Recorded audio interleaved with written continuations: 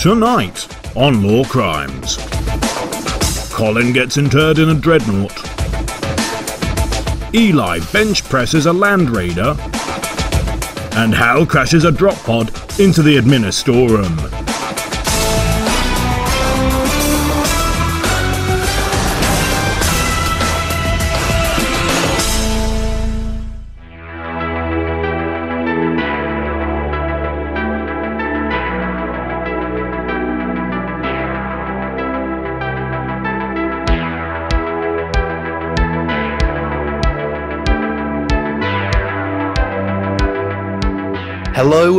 Criminals, and welcome to Lorecrimes. I am Hal, and joining me today is Eli, Colin, and Andy.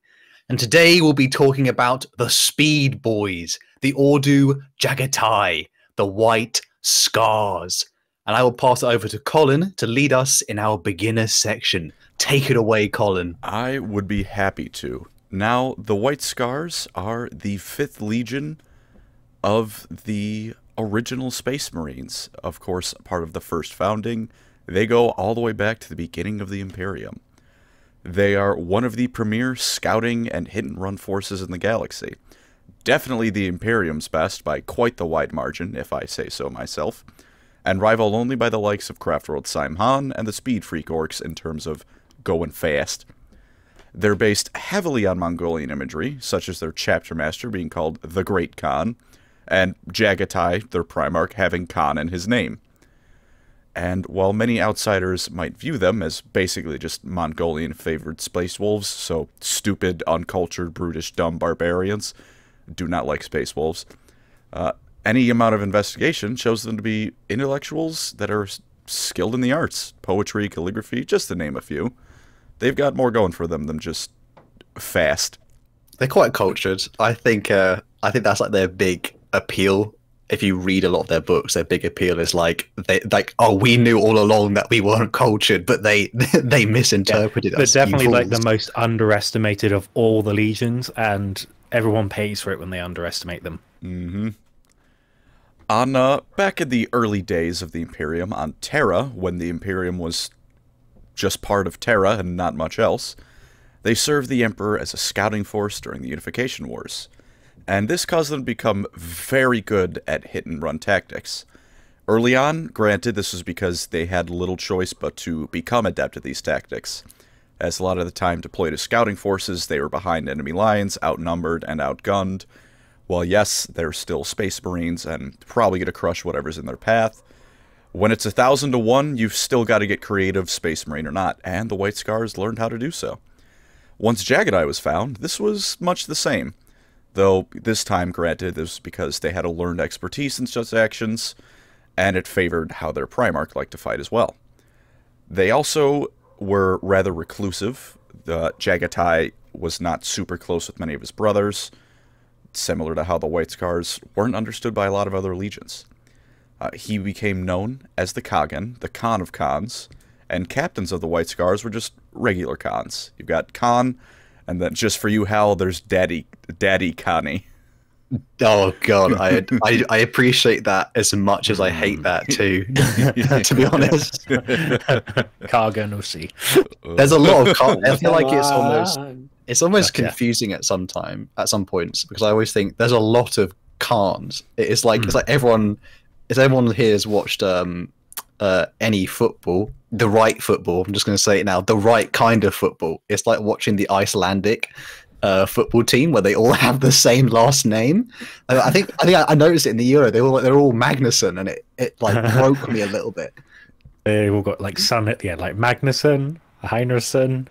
I know it was really. like, sun, I- sun, sun, sun, There's a lot of Khans though. There's a lot of Khans. Like they're all Hmm. pretty much. Because I, when I first heard about them, I thought it was like they're all.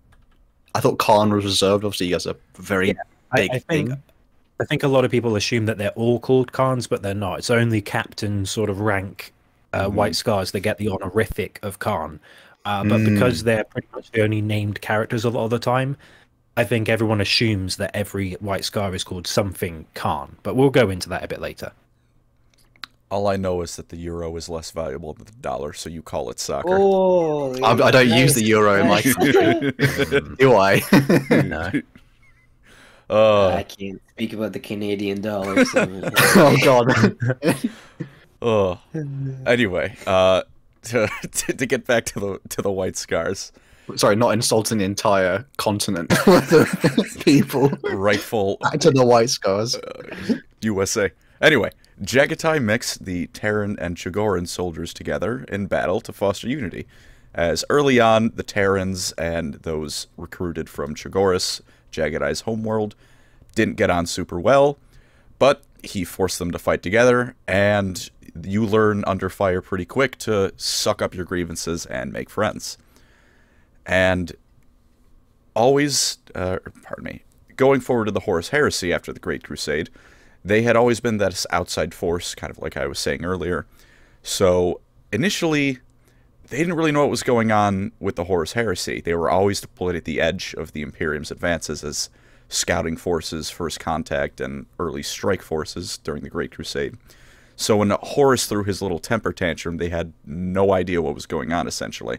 All they knew was that their former brother in arms were going at each other like madmen. Mm. As they investigated Prospero after it was burned, a sizable portion threw their lot in with Horus, as they believed it was a rightful rebellion. Because, hmm. as far as a lot of them were concerned, the Space Wolves just went to Talon of the Thousand Sons, and that was the side Horus was on. So, as far as they were concerned, Horus is in the right. When hmm. Jaghatai got some more info and learned that actually there was some chaos treachery going on, the remaining traitors, Marines, and the White Scars either just submitted to be executed or joined suicide squads to find honor in death. Anytime there's something like that, I find it really cool. Like the Dwarf Slayers, the the, the Magyar it's so squads. It's very, very cool. Very Warhammer. Ironically, as well, if I don't know if this is a bit a bit jumping the gun, but I think, as we said earlier, the Terrans and the Chogorians were kind of reunited. Ironically, it wasn't quite a big portion of the ones that sided with Horus. They were the Terran-born White Scars. So that so that definitely came to a a bit of a heated moment. Let's just say that they Yeah, there's, there's always like that weird dynamic with legions with Terran borns and like are they going to be goodies? Are they going to be a bit cheeky? You know, like, there's always a weird dynamic in certain legions, like the Raven Guard in particular. hmm Uh, after they finally figure out which side to be on, they perform very admirably, uh, raiding Horus's legions and the traitor legions in general for several years. But eventually, they came to realization that if they keep doing that, they were going to be caught, cornered, and destroyed. So, while there was still an opening, they booked it to Terra, where they performed admirably during the siege, protecting Ter- Terra's civilian population and even helping their Primarch banish Mortarion himself back to the warp after he became a demon Primarch. They got rid of the Oh, smelly so one. cool. They got rid of the smelly one. Uh, They totally did. It is an awesome. It's it's in the I think one of the better Siege of Terra books. Uh, oh my god, I almost got Warhawk. I almost got the name. That would have been a massive law crime. it's right on the tin. It's like, yeah, whoa, that yeah. that book is in. That book is long. I say long, brethren, but it's that's a it's a And it's got, beefy like, one. good. one of the best Jaghatai moments with him just um, so cool. Just shouting down Mortarion with sick burns, like, "Yep, that's our Khan. We love him." We'll tackle some of that later. I think a bit because I can't wait to go into that part. Uh, as uh, now, this did cost Jaghatai his life, although he was given to Malcador to be healed, resurrected. Which, unless old lore is very shortly going to be retconned, this is, to my knowledge, Jaghatai's state of things. After the siege, he is back and kicking. You can't keep the Warhawk down. Uh, as for that, after the siege of Terra, uh, Jaghatai at some point was lost chasing Dark Eldar back, raiders back into the webway. I gotta say, Jaghatai is very cool. Andy, I know you love the White Scars. Would would uh would not have chosen this as a viable course of action, pursuing the Drukhari back into Commorragh. Uh, I don't know. Khan will manage. He'll be fine. uh, y- y- I'm sure, yeah, I'm probably. I'm not sure quite. he's, He's- I'm sure he's alive. Uh, in the tender, loving hands of the Drukhari. Uh, Yikes! if He's if taking uh, him out. We'll undoubtedly get to them later, but uh, just uh, so you know, if they don't want you in Commorragh, you're not going to have a good time. Hey, if uh, if Eli's favorite, Mr. Fabius the Chad Bile, can survive in Commorragh, Uh, I'm pretty sure. He was Khan- invited. Yeah, he, I don't, I don't think well, the Khan was fine. invited. Was he invited, Eli? Well, the the Harlequins gave him a map, and then he went there, and the uh, homunculi covens actually like took him in as a student because he's like, oh, this guy's pretty cute and he's really smart. This guy's it's- pretty cute. This guy's He's pretty like, cute. he's, like, he's literally grey the smartest guy in the Fabius galaxy. ooh, Fabius they- Bile ooh woo. Yeah, That's what we they- call they treat him like a- Fabio. Fabio. yeah, they treat him like a kid because he's because to them he's like uh, like, they're way older than him, right? A lot of the homunculus has been around since the fall, pretty much. Mhm. It's, know, it's so- it's wholesome in my mind, but in reality, he- it's he really not over. wholesome. He's- Yeah. he screws like- them over really hard. It's like I'm sure calling- the, the experiments that were like taken in aren't having a good time with them. Yeah. Like, "Th- we don't find it cute. We don't. We're not. No, help. Uh, we let should- us free, please. And we then- should get back on track before I talk more about Fabius Bile. Wait, didn't they make? Wait, last thing though, didn't they make like the Tower of Flesh or something? Just, Oh, I yeah, mean, it's they so, did. Oh now. my gosh, They did so do that. cool. That's a yeah. Oh. Cool. I think that Bruh. I think they can move it as well. I'm pretty What? sure. Like, does it have hands underneath? And all? I Oh, okay. I don't mean, let's not go. remember. there, Hands, Let's not go hands, there. legs, whatever got to get around with. Oh, Oh. I, I, there was something really cool about it, but I can't remember. Frick. Well, uh, well, Eli's Oh, it was growing. I think it was growing. That was the thing they Oh, did with good yeah. It wasn't. It wasn't created like from scratch. It was literally growing. I'm pretty sure.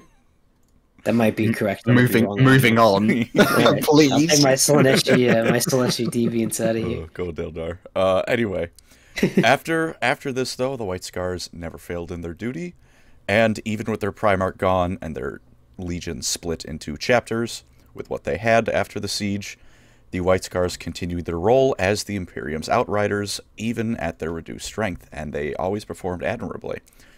And this is how they have done for 10,000 years, and how they will always do.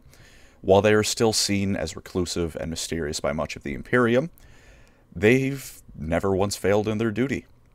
They've battled the Red Corsairs traitorous Astartes, the Tau alongside a rogue trader dynasty. There's a 40k book I actually have read, the Rogue Trader Omnibus. Yeah. Uh, put, put in the points now. and many more enemies besides. And while they, as I said, remain outsiders, they're not known to many, even among their brother Astartes by this point. Not much is known about them, that is. They're still one of the Emperor's finest and will continue to serve admirably until the end of the Imperium. Big round of applause. A big bow. I, I, I, I love the White Scars after reading their, their heresy books. Oh, they're so good. Chris Wraight is a he, he's a he's probably the best author they have now at GW. took them a while to like we need to like talk about the white scars they're not getting any like and it's like oh here we go oh amazing thank you thank you because like we for like the first 20 books they don't really get anything and then it's like ah now we're getting something to talk about after a long time Feels the same with the Blood Angels. I might be Yeah. wrong with that, but I'm like 30 books in and they haven't talked about the Blood Angels still. So yeah I, I'm I'm currently on um Ruinstorm so they're getting a bit of love right like right uh, right now with that but still To be fair, Sanguinius's time in the sun comes at the end. yeah sorry, Fulgrim's prettier than him, anyways. Oh, we're just fighting words here. Fighting words. comment comment in the in the uh below the video who's prettier sanguinius or fulgrim we'll do a poll Fulgrim's all natural, baby. He's all natural beauty. The answer, Sanguinius needs some wings. the answer is Lelith Hesperax. Ah, boo, boo! oh dear Get him out of here. No, it's Marathi. Oh, Oh, that's even on. worse. That's even worse. Uh, are there uh, any questions for the beginner section before Andy takes it away?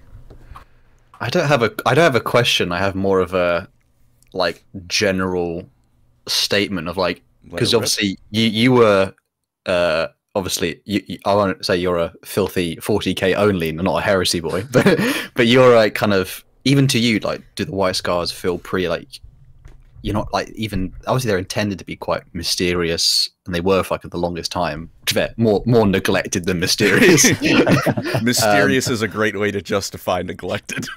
Yes, but like even to you, like because obviously you learn about them now. I think every time someone learns about them, they quickly become like someone like at least like top five, if you know what I mean? Like, would you say for yourself, like having learned more about them through this, you're like, oh, they've risen like quite a bit. Uh, Colin? they've, they've definitely gone up there. I don't know if I'd say top five, but that's less because I don't think they're cool and more because I've just honestly never thought about like top five Space Marine chapters. This guy Uh, can name about three of them. I I- no, I've got a few. I like the Reclaimers. From granted, that's because they were in Ciaphas Cain, and anything related to him, I love. Uh, but no, I've I've got a few I know, but uh, they're definitely up there now. Again, like I said, I'd have to think about that if I want to put together a list. But yeah, I'm a, I do enjoy me- reading me about the White Scars. Do or don't, White Scars is coming to your channel 100% Uh, yeah, after this. uh, I wouldn't say right after One this. Maybe day. the first Space Marine video. Uh, first Space Marine's going to be overall Space Marines, and then we'll get into that specifics. makes sense. after- You haven't after- you haven't done Space Marines yet? No, I was. Uh, I thought about. I. I think that's gonna be. All right, we're getting too much into my channel. Uh, Too- too meta that'll- here, too that'll, meta. that'll be just real quick. That'll be the. Uh, that'll be my final do or don't for the mainline armies. I felt like that'd be a fitting capstone to the series Mm, very until much until so. I get into sub armies because I need to milk it. Damn right. Uh, and if there's nothing else, Andy, Mhm. unless Eli, have you anything questions, any comments? Uh, I don't think so. I'm sure Andy will cover plenty. All right, Andy, why don't you take away the expert section of Ah. the White Scars? Thank you very much for hand- handing it over. You've done a great job with the intro. Uh, I think again, like Hal just mentioned, anyone who hears about more, the more you hear about the White Scars, I think the cooler they get. Um, but we'll start at the beginning with their formation. So, the uh, when the the legions were founded, a lot of them had specializations and different names. For example, the Death Guard were the Dusk Raiders at the time. Uh, the White Scars, when they were originally founded, were called the Star Hunters. Um, they were comprised primarily from the Fulian Basin of Terra, and at at their inception, there was only really a few hundred warriors. Uh, they were known as the eyes and ears of the Unification War because they would they were they were used as pathfinders and scouts. Uh, you you know, and it, it makes sense. Uh, when you think of White Scars, you think they get in, they get out. They're not quite like the Raven Guard, who are more uh, espionage and covert operations, but they do have that element of hit hit fast, get in, get out, guerrilla warfare sort of thing going on. Um, they often fought ahead of the prototype legions. So what would happen is if you had, say, the the Dark Angels, who, who's the first legion, the White Scars would go into a, an engagement, cripple as much of the main enemy's uh, structures, uh, high value targets, etc., and then quickly escape before the Dark Angels would come in and just sledgehammer crush anything that was left. So they were very good at just picking off targets, hitting, retreating, and being so fast you you wouldn't have a chance to attack back. Um, they were also sent into the cumulatively the single most deadly engagements and environments of old Earth. Like anything that was tough, you sent the scars in first. They do the damage they could, and then another legion would come in and, and wipe the floor with whatever was left standing. So I kind of like that as well. That like even before they were known for the the the the the Chogorian uh, customs and everything, they were still pretty badass even before Jaghatai got involved. I wonder if they Um, imply. I I don't know if everyone else feels like this. Do they imply that each legion, like it's always in Warhammer, isn't it? Where like each legion's kind of already like their Primarch. So it's like, Yeah. yeah. is there meant They- to be like, like, a? oh, sorry, like, they a, have like the a, genetic materials from the Primarchs, don't they? They still have them. They just haven't matured just yet. The don't have- Primarchs, but they've got like They don't have Yeah. daddy yet. But I always wondered, like, what genetically is like genetically make you fast, but tactics fast. like, like, oh yeah, I was born to use fast tactics, not I'm run faster. because Warhammer is a fantasy setting in space. That's that's that's basically the answer for every question.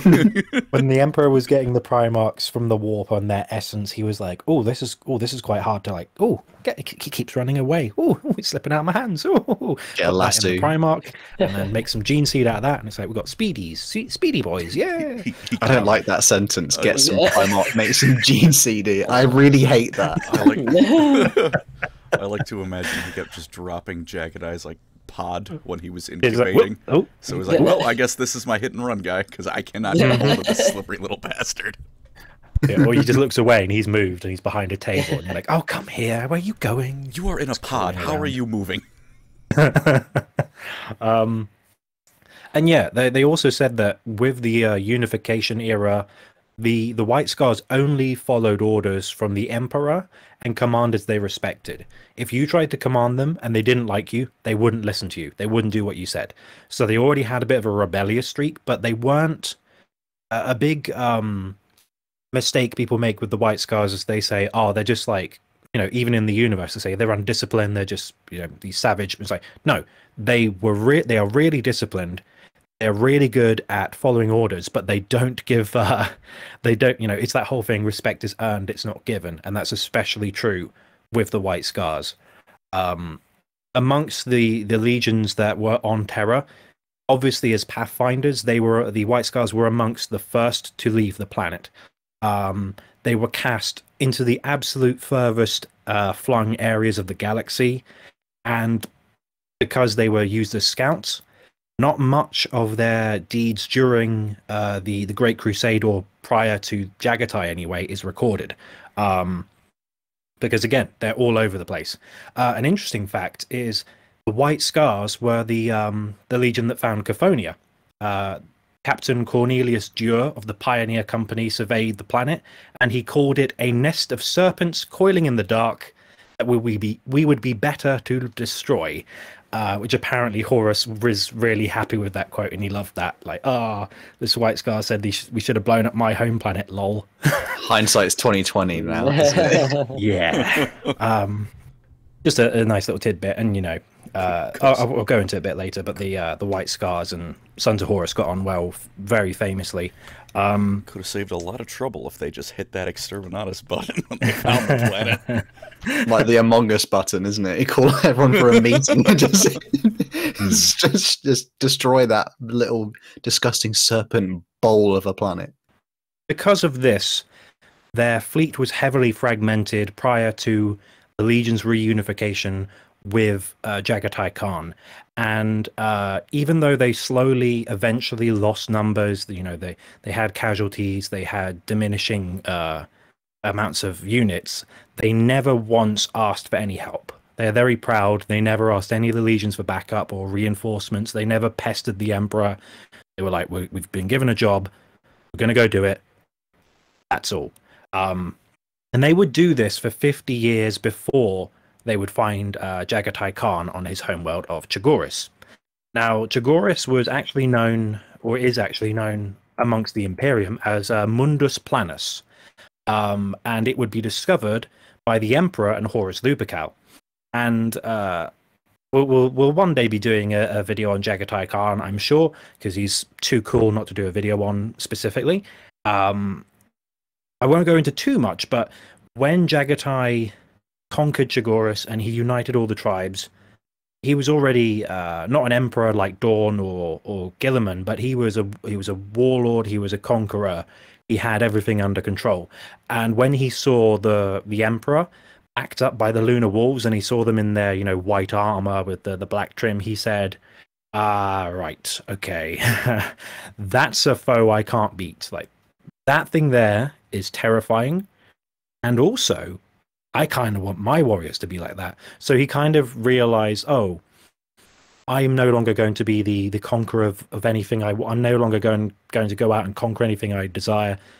My father, the emperor, that's his role. But I'm going to be free from the constraints of bureaucracy and boring politics, and I can just serve in his name, go out there with my with my boys, kill lots of stuff, have some fun, and just be untethered because he's very Jaghatai is the most free spirited of all the Primarchs. He just wants to go out there and and slay some Xenos, you know. Isn't it interesting that of all, I think him and maybe Angron might be the only ones who like didn't immediately pledge loyalty to the Emperor. Mm. Like a lot of them are described to. I think the one with like Perturabo, isn't it? I always remember that one. Like Perturabo, like basically gets on his knees and starts wading like a baby. so does And- Sagridius. Yeah, yeah, a lot. I think a lot of them did that. I think, actually, no, Fulgrim also was just like, oh yeah, cool. I I'll think Fer- Ferrus had a scrap with him, didn't he? Yeah, Ferrus had a punch up, which is awesome. There- as well, yeah, like he had a Dragon Ball Z fight with the Emperor. His power's over nine thousand. and thousand. then, and then Vulcan, we're gonna go hunting and see who's better at hunting. Hmm. Okay, Dad. No, it's, it's, it's interesting, isn't it, that Jaghatai is one of the few ones who like don't Im- Mm. like a lot of them. Like even when they say like when humans meet Primarchs, they immediately want to like bend the knee, so Mm. almost. And it's interesting that Jaghatai, I guess, didn't feel that, whereas a lot of the other Primarchs immediately felt that. So maybe that was something born into him. I know. I think the old law, it, it or or at least um, I don't know if it's old law necessarily, or if it's just the Imperium's records where he he he went to his knees and he groveled. It's like no, that's just what they said. What he actually did is he looked at Horus, he looked at his soldiers, and went, "We're going to get slaughtered if we stand against them." Then again, that armor's pretty cool. I'm going to join you, and we're going to go out and do what we love doing anyway. So why not? And he and and his his whole um premise was he wanted humanity to conquer the stars and and and rule the galaxy and he was like well if the emperor's going to do it it's still he's still doing what i want to do so cool okay i'm a man enough to say i can't match the emperor he's my daddy. I'll do as he says because you know I, I believe in what he wants to do and i think it'd be better to join him and, and get it done quicker. That's kind of his whole his whole um outlook uh with the legions um I think my uh, go ahead. just a quick my favorite uh, meeting the Emperor story is still Leman Russ's old lore, where it was an eating contest and the Emperor Yeah. lost, and then a drinking contest. And the That's Emperor still lost. canon. That's that's hundred Is percent it still canon? Yeah, oh, I thought think it might still is, yeah. Oh, and then he just And then the emperor's like, Leman in "Are the you're going to do stuff your face and get drunk? You're a wretched person." He's like, "What did you say?" and he then goes, clocks him in the the fact that the em- the emperor lost as well like twice and Yeah. he lost in the drinking and the eating contest Yeah, which is insane because he's the em- yeah, he's not emperor stomach isn't he he's not emperor size stomach So to go back to the Legion proper, rather than just talking about how cool Jaghatai is, um, so all the plains tribes of Chogoris were then given mandatory military service. Um, and what's interesting, another, I say we're going to talk about the wider thing without talking about Jaghatai. Another cool thing about Jaghatai, um, he was amongst the swiftest of all the Primarchs to be given his legion and then to just go to war. Like, uh, Guilliman and Dorn particularly protested, like they were like, "He's literally, we've just found him. You can't give him a fleet. You can't give him all these warriors and just say go ham." But the Emperor did, and they didn't like how um, Jaghatai didn't assimilate all of the imperial virtues that the other Primarchs were told to foster. Um, it's not necessarily um, a religious thing, but the, the White Scars have their own cultural ideals. And so Jaghatai kind of said, I like these things from the Imperium, but this stuff's rubbish, so I'm going to keep the stuff from my Chogorian culture as like uh, virtues to aspire to for my legion. So that's another thing with uh, with Jaghatai. He was just given given the keys to the to, to conquer the galaxy in the name of the Emperor very quickly. Um, Actually, But when he- too. Hmm? actually using his brain too, like, hey, not Yeah. everything's perfect with the Imperium. Yeah. Also, probably the is there any other Primarch who was more um who challenged the ideals of the Emperor more than Jaghatai? I mean, Angron wasn't happy, but he didn't really have much to talk about. He was just like, oh, "My friends are dead." there was a nice conversation with uh, the Khan and Sanguinius, I think, in Warhawk, where they were just like talking about how the whole Imperial truth is a, is a sham and like completely fake, but oh well, it could be worse, and let's follow Dad anyways. Mhm. Is Mhm. basically what I got the gist of it, which is probably another reason why he's my favorite. Closest I Te- can, i'll go ahead colin the closest I can think of is when Mortarion started fighting about the webway and was like, "There's some warp stuff going on here, Dad. Something's not right." That's not really questioning the Imperium. That's just like, hey, Dad is screwing with the warp, with the Golden Throne. Something's not up. Malcador's lying to me. I was going to say technically lorgar because he he technically got it all yeah. wrong if you know what i mean in, in the Ah, right Yeah, way true. he, he technically was way off yeah he'd read the instructions of the previous essay and then he tried to apply it to this current one and it was not right Or was it? oh that's a good question good Heresy question. detected. We're moving on. We're moving on. Oh, I think I will I, I will say I did like how Jagatai didn't let he like didn't let the Imperium touch his planet. Pretty much, Mm. he's like, "Screw you." You're not putting a single factory on my planet. Yeah, no Basically, mechanicum that was awesome. messing around. No, this is my home. You are not. That was touching it. probably half the reason why the Dark Angels turned traitor. no, no, don't touch me there. This is my Chogoris there. My Oh Chogoris. if you Uh. if, if you if you harm a, a, a single blade of grass on my fields, I will go ballistic. I swear, Um, I'm gonna lose it. There will not be a Forge World in this segmentum if you touch a single tree. Um, but yeah, so so when Jaghatai took control of uh, the the Legion, um, it was it was divided. They didn't expect to find any of the Primarchs when they did. They just sort of bumped into them when they did, and so all of his va- varying uh, fleets have gone all over the galaxy. And so when Jaghatai is found, he basically sends a signal to all of them saying, "Everyone, I'm your dad. Come home this instant." So they all do and it takes them quite a few years. I, I did have it written down somewhere, but I can't find exactly where it is. But it is a while. Isn't it Uh, oh, here we 10 go. years? Or It took a hundred years, I think. Oh, A No, hundred for all the pioneer companies to come back to Chogoris, from what I can read here. A hundred? I thought it was like That's what ten I years. read. I Is thought it? it was. I thought it was like Well, it was that's something like- like ten years to gather all these star. It's that- like what are 10 called? years in space marine time, though. I think because hundred years they would have been near the end of the Great Crusade. I can't. I think I thought it was ten years. If I read in, Hmm. it's I in know. the Jaghatai Khan book, I think it, it, it might be hundred. Yeah, I might be wrong. It- it's, it's either Because the ten or thing is, I'm sure the Great Crusade is several hundred. Isn't it a few hundred years? Where like two hundred uh, years in total. Yeah. Uh, but e- either way, if it's, I feel like it's a hundred, just because again they were literally the furthest out in the galaxy, and some of them were like, "Sorry, Dad, we're quite far away. I'm not going to be home before like ten. Uh, If, get we, if we get it wrong, it's a it's a it's a happy lore crime anyway. It's a They- happy they, law They were far which is what away. they. Were far. They were very far. Um, but what he did was when all the Astartes mustered at Chogoris, he had about 50,000. And there was, because a lot of them were from Terra, and they'd just been like recruiting and uh, training up the Chogorian Astartes as well. Also, because they'd been all over the galaxy, none of them had any shared culture. Some were, you know, on the eastern front, the western front. Some were from Chogoris, from some were from Terra, and different tribes amongst the Terrans.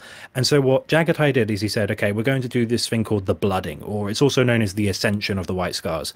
And he told all of his uh, Astartes, grab a knife, you're going to cut a scar on your face, basically from uh, some some from temple to jaw, some from cheek to jaw. Like you need to scar your face as a way for us all to have a common heraldry under my banner. And over time, these scars would um, show different differentiate how you know if you have like a say a cut from your your right cheek to your your lip that's one brotherhood or if it's one over your left eye that's another and so they would match them so you could tell what brotherhood they were from over time but originally it was just okay that's my uh, my little uh, transformation. And every astartes also relinquished their old name and they they picked a new one. Um there weren't any rules as to what you had to call yourself. Like it wasn't although a lot of Chogorian uh, Astartes use Chogoris h- and its uh, its its her- uh, lineage as a way to to derive new names, this wasn't mandatory. And uh, for the first generation of the White Scars, a lot of them named themselves after their deeds in battle. And over time, as the Terran Astartes dwindled and more Chogorian Astartes were assimilated into the chapter, they named themselves to honor the Khagan and also to honor Chogoris. So over time, patterns would emerge on how they would be called. Like, for example, um, Jubal Khan was uh, in the Horus Heresy. But there's also the current chapter master in the 41st millennium is also called Jubal Khan, which is quite confusing. But I think it's a way for him to honor the the Lord of Summer Lightning who died in the Horus Heresy, and so there's like repeated names and all that kind of stuff. You know, you said Um, they they're named after deeds. I'm just had the unholy rogue idea that some white scar is called 360 no scope in Chogorian, or like you know, or just like or throwing knife across the map, if you know what I mean. Yeah. yeah, yeah. his, his sacred name translates to 1v1 me on Rust.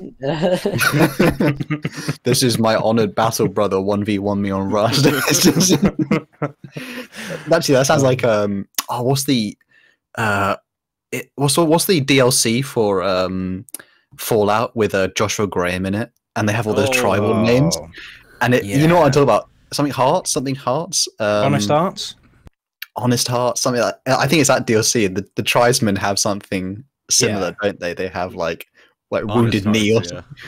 I think that's. To that's be it. honest, I, I, when you said about the whole like 360, I was just thinking Killtacular Khan or something like that. Running riot. Running Riot Khan. God, damn, that's Uh, amazing. That DLC. So silly. Oh, that DLC was also 250 megabytes. Remember when games were under a Ooh. gig? Jesus Yeah. Christ. Holy Do you remember playing moly. Skyrim on your PS3 back in the day, boys? Yeah. Bro, I'm Wow. still playing Fuck. And now what we played on? We played it on the toaster. Oh, Skyrim for Samsung smart fridge. I think Skyrim's going to be released tomorrow if we actually check our calendar because they're releasing it again. They're gonna Oh, release it until 40k becomes real life. It's Literally, Mm. never dying. we're gonna have Servitors by the time Skyrim's done. That's why, that's why Jaghatai Khan was really an outsider. He preferred Oblivion. I, I I love Oblivion. I gotta say, I think I prefer Oblivion Love to too. play it. I do have a quick question with the scarring because obviously Mhm. they're space marines. I can't remember how they managed to Um, do the scar they use like healing. I think they use a poison. They, they they they use like a poison on their blade so that it stops the healing process. Ah, so it, it kind of burns. I think I think even the Khan did this, but because of his healing factor, it's so subtle you can't really see it. I know he's got the big red uh, pattern on his forehead, but I thought that was more like war paint than an actual, or is it a tattoo? Or hmm, I'm not sure about that Actually, it's just a bachelor weekend mistake sort of thing. Um, but yeah. Um, and basically, the Khan, uh, similar to what I said earlier about how he didn't quite uh, assimilate everything from the Imperium into the White Scars, he told his sons to study to to study the noble pursuits. And this is similar to the Blood Angels, where they had like they were taught to indulge in the arts. Um, the White Scars were told, you know, do do hunting, tell stories of your heritage and tales from Chogoris and do calligraphy and honor your your heritage um, as a way to as something to aspire to be better at than just fighting. Even though the White Scars love a good fight, um, Lorgar Aurelian, everyone's least favorite Primarch. Oh, Um, I like him. I like him. He's I like how cool, evil he. I like how pathetic and evil he is. Because you can only. Like, I like I like the first word. I like him because he's pathetic. well, it's like how everyone you love to hate Erebus, isn't it? There's- If Yeah. Ere- if everyone was like Erebus, oh, that's pretty meh. But everyone's like, if someone said, "Oh man, you look like you're the kind of Erebus character today," you, you'd actually want to like just destroy It's fight all mode. of their favorite. yeah, you had to fight. It's just straight up fight. There's no Same thing flight. with Lorgar. Mm. There's Well- no well- definitely no flight. I mean, being pre-heresy Lorgar wouldn't be too bad. He was a good guy. Yeah, Lorgar's cool. He just He just was a bad rep from guys like Major Kill, and so now everyone hates him. Oh, to be Uh, fair, he was raised by He's meant to be. He's meant to be hated though. He, he is a. Hmm. He, he does have his I Sigma. know. He has his quote unquote Sigma grind set moment I where think he's a like, lot of his hate is unjustified. I mean, He's he a was, good uh, he was a prick, but We can agree on in a that. way, What- like we Konrad can agree on what's that. Primarch wasn't at some point. Really? Hmm. Vulcan and the El- Sanguinius. Eldar child. I- Vulcan and the Eldar child. Sorry, anyways. boys. um, so we just derailed this completely. Um, but yeah, either way, Lorgar uh, hated the noble pursuits. He saw them as a rejection of the imperial truth, and so he whinged at the he whinged to the emperor about it a lot. And he's like, "Jaghatai's doing that thing again." You're like, "Shut up, Log- Lorgar. No one cares." Um, whereas Roboute Guilliman said he he found it suspicious and unworthy. So he also didn't like them, but not in the same way, which is a bit mean. Um, so that's kind of the the history of them up to Jaghatai. Uh, before I go into some of the the ways that they uh, some of the more information about what they were like, I've got some quotes in the right hand side of the chat, and I'm wondering if you guys would like to read a quote each. So, um, hmm, what could we start with? Um, Which flavor do you want first? okay. Uh, does anyone want to uh, to to do the first one with Torghun Khan at the top? Has I'll go. I don't mind going. I actually I like the character of Torghun as well. I hope we talk about him in a bit because he's pretty interesting. Uh, Tor- Torghun just he's he's the Terran born one, isn't he as well? Yes. Yeah. Yeah, I'll give him a little. Excuse me, ladies and gentlemen. the Chogorian instructors were fulsome in their praise. unlike the grudging hard men of the Luna Wolves. Take pleasure in your prowess, they would chide him, mocking his earnestness. A warrior is a blessed thing, the most fortunate of creatures, gifted by the heavens with unmatched power. It would it would be polite to acknowledge that from time to time. They're very much they no were hang-ups about fighting. they they pretty much were just like, yeah, what why are you being a little bit of a bitch? Just enjoy it. Enjoy enjoy fighting. Have a bit of fun when you're killing people. Come on. yeah, don't don't be such a don't be such a downer, man. What are you doing, man? yeah, yeah. Lighten the mood. So, um, with that said, uh, they during the later parts of their um, their their time in the Great Crusade, etc., they they began to eventually recruit exclusively from Chogoris, and they were the third smallest legion during the the Great Crusade. The only legion smaller were the Raven Guard and the Salamanders. Um, they loved jet bikes. Uh, due, due to their nomadic time on Chogoris uh, on the plains, and also the history of, of trying to get from the most far flung places quickly as possible. They like speed, they like raiding, they like, you know, like things that go super quick. And similar to that quote before, they were known as the laughing killers because they would strike fast without mercy and they were they would always enjoy battle. They always had a bit of fun when they were doing it. Uh, R- Sanguinius, Primarch of the Blood Angels, remarked, "They smile often and they laugh when they kill," which is like, oh, Sangi. He, he he had a soft spot for the the white They they loved fighting orcs, didn't they? Though that's Oh, the yeah. was it the the irony was like them versus the orcs. Everyone was having a good time. it was just yeah, ridiculous. they, they they were sent to to end the orcs after the Ullanor campaign, like the just before the Horus heresy broke out. Um, I think it was Horus who was like, finish off the orcs. Go to um, what was the planet called? Uh, oh, I can't remember what it was what it was called. But they went to like their last known stronghold, and he was like, Khan, could you just like go like massacre them? Could you just genocide the rest that." of the orcs? And he was like, Yep, cool, no worries. Um, there's a good uh, the first story in um, I think it's War Without End. The uh, the couple of short stories is about um, Shiban Khan and Torghun Khan and stuff, and yeah, that's quite a good story about like the last fight before they ended the orcs for the uh, the Great Crusade. Um, I think it was Hal and Colin mentioned earlier that they're often maligned as savage killers akin to the Space Wolves or World Eaters, but in actual fact, they are amongst the most capable strategists of all the legions, and they are very disciplined. Uh, they are very courteous to the people they meet, if not adherent to the rules that are imposed on them. So that you know, there's like a, a, Terran-born general who also is in the book I mentioned earlier, who I think is assimilated into the Legion when she's working with them to to kill the orcs. And their uh, T- Targutai Yesugei, Yesugei is like, oh, I'm gonna like give you warning, like the, the Khan's a bit intimidating, but I'm gonna help you get used to him. And uh, they're always quite polite and nice to people. Um, there's even a story where uh, the the traitor, the loyalists from traitor legions are trying to get back to Holy Terra under Macer Varren, and a Custodes is there, and there's like the Emperor's Children loyalists, there's the World Eaters under Macer Varren, and there's a few White Scars, and the only one that the uh, Custodi respects is the White Scars because he's fought with them in the past. And he's like, oh, I like these guys. These guys are cool, uh, which is a bit unfortunate because they betray him. Uh, but oh well, we'll get round to that later. Um, so they also had immensely big, uh, great bonds of friendship with the Luna Wolves, uh, because Horus and Jaghatai they weren't like Sanguinius and Horus levels of like trust and friendship, or Ferrus Manus and Fulgrim, but they were really, really close. Uh, not only because Horus was the first Primarch that Jaghatai would meet, and he was like the kind of his embodiment of what he would like uh like the example to follow for his legion because he was the first one he saw and you know they're the they were the first among equals uh when he was the whore uh, whoremaster when he was the whoremaster when he was the whore master. this isn't the Slaanesh episode Crusades left Um, and right. yeah. Um, and also, they did a lot of joint, joint campaigns together. Um, they also had um, a really good friendship with the Thousand Sons because Magnus and Jaghatai are, were really close because they were both seen as outcasts. And uh, in that regard, they both uh, confided in each other.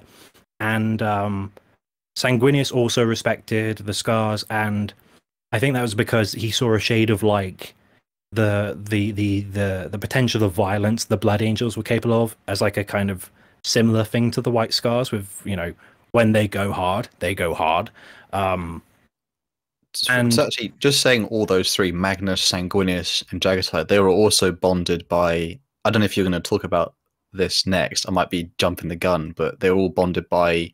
They were all pro Psycho, weren't they? Mm, they were. Um, I'll, I'll get to that in a bit. Um, Mm, mm. But before I do, I'm, I'm just going to say that there are grudges, though. Um, I know Colin loves his uh, great book of grudges and dwarves. Retake the Um, realms. Um, you filthy grungy. Rungni. thing is, I think- that's an ancestor Rungni. god. Yes, I know. I'm I'm throwing it out there. You We're are getting the in fancy. book. Kill, kill, stunties. Well, I, I don't know if, if I'm correct in saying this, but I feel like White Scars have amongst the most grudges of all the legions. Um, and that's saying something considering the Space Wolves exist. but um, yeah, they don't get on well with the Space Wolves because they see them as barbaric. Isn't And- it uh, like the space wolves are actually the image that a lot of people incorrectly attribute to the white yeah, stars? and so like, there is resentment because Yeah, of that. like- yeah, they're like, mm, it's like they're you, tainting. you, yeah. Yeah. Um, they also don't like the Death Guard, and that got worse with the whole, um, you know, Mortarion falling to chaos thing and Siege of Terra. Uh, and they also really don't get like probably of all the legions, they really don't like the Raven Guard. They are really, really, really opposed to the Raven Guard. Um, which supposedly ori- originates from uh, there was a Raven Guard chaplain that fell to the thrall of an enslaver during an operation known as Kronos, and the White Scars could have given their aid but didn't. And apparently, that's where like This is I'm the not 40k exactly sure. timeline, right? This is this is. I think this event's closer towards the yeah, yeah. timeline. Uh, but but uh, they didn't really have much dealings during the, the the Horus Heresy period, I think. But you know, finding an enslaver is pretty crazy. But like, I think the idea that the resolve of the chaplain, which is also like a big deal for a legion to have, like a chaplain is supposed to be the most mentally stable of an Astartes uh, chapter, and the fact that he didn't have the the, the the constitution to stop being enslaved by a quote enslaver, they were a bit like, hmm, bit weak, and then they just didn't like the Raven Guard after nice. Is it Um, also because like their tactics are so like I guess opposite because the the, the white scars don't hide. They're, They're in, your, they're in your face. Yeah, your there is face. that as well. They think their their combat doctrine is a bit sus. Do they both Um, fight the Tau? Are they both in that conflict? Yeah, there there is a, an interesting book about uh, Kayvaan Shrike and Kor'sarro Khan uh, fight together because the the Kor'sarro Khan's doing a hunt because of course he is. He's doing one of his Master of the Hunt things, and he's looking for a target uh, from the Alpha Legion, who's like a chaos empowered warlord, and he's like, he's here. And then they go to the planet, and Kayvaan Shrike's there with his Raven Guard, and he's like, "What are you doing here?" And they're like, "We're we're just doing something else." And he's like, "All right." I get to kill him and I get to cut off his head and bring it back to Chogoris. And Kayvaan's like, fine. And then they just ganged up on the, the Alpha Legion guy and killed him. Uh, it's quite quite fun. Like Um, like bullies in the schoolyard just kicking him in the shins. Yeah, yeah. There's a cool piece Um, of artwork from that, at least the Tau bit. I just sent Oh, it in. yeah. It's really cool imagining them working together like that. Yeah. I like the uh, image of um, Kor'sarro as well, like just like sm- slashing, like it's sort like just sm- smacking like uh, Shadowsun in the back, and she's like, ah, and just there's this picture of him just like, they should have "Mm, finished the job. They should have finished the job. But then, but then Uh. where would all the Tau Rule 34 come from? Oh, you Kor'sarro was filthy like, man. I must end this now. Shadows is not that bad actually, but she just. I'm not. We're not going to talk about Tau. We're not talking about Tau. Never mind. Yeah, Tau Leave episode them in later. obscurity. Um, beyond Rule 34. Anyway, um, so so during the Horus Heresy, like we mentioned before, um, they they did stay loyal, but there was a warrior lodge in the Legion, because of course some of them were the warrior lodges. For anyone who hasn't read the books, were basically ways for the war- for the War Master and um, elements of chaos before the War Master became corrupted to sow the seeds of doubt and to go, we're all brothers, we're all fighting together, and our our loyalty is above the Emperor. Wink, wink. Slowly, slowly, getting uh, getting ahead of themselves, and um, some of them, like uh, Hasik Khan, I believe it is, um, sided with Horus, and like I said earlier, when he was on the uh, ship with uh, Macer Varren and the Emperor's children, the custodian and Garro and some other guys, uh, I think it's Tylos Rubio, they were like, "Hey, you're from Traitor Legions. Apart from the White Scars. We're not letting you in to Terra until we like check you're okay, that you're not going to like do anything shifty. And Hasik was so sneaky. He pinned like he he he I, he got his men to wear Emperor's Children armor, slaughter a bunch of civilians on one of the ships, then blow up the camera that was filming them, then pin it on the Emperor's Children, and then before they got caught out, they shot a custo. They like ganged up on a cus- on the custodian and killed him. And it's like, ooh, white Holy scars. moly. You guys When they know what they're doing, they know what they're doing. They just they were traitors. him. They weren't proper white scars. They were traitor ones. They so were no wonder they were ones. sneaky. Jeez. Yeah.